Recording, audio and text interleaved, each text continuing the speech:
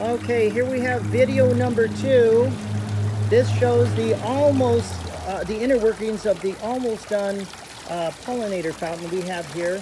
So what happens is uh, these are called the OASE Quintet. And we have three of them put in here. Just giving you uh, overall. So what we did uh, to continue from the last, we put some two by sixes together uh, nailed them, to, screwed them together actually. And then we put underlayment, geotextile fabric, and then we put uh, 45 millimeter Firestone EPDM liner.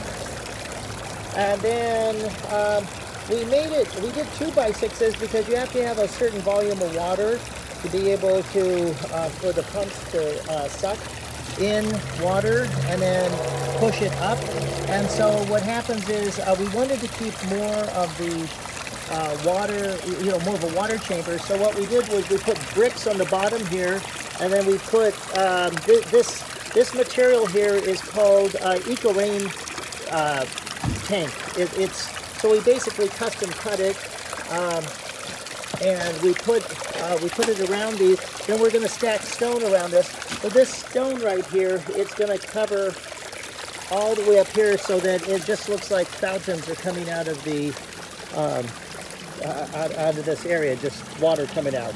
But it's all self-contained as you can see. We have an autofill that's inside this box here. It's a little Atlantic Water Gardens autofill. So the idea is when it goes down, water goes down, it fills up. Kind of custom cut that there.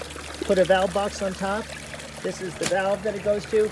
Now, to show you the inner workings of this, this uh, we've all nicely put it all together here.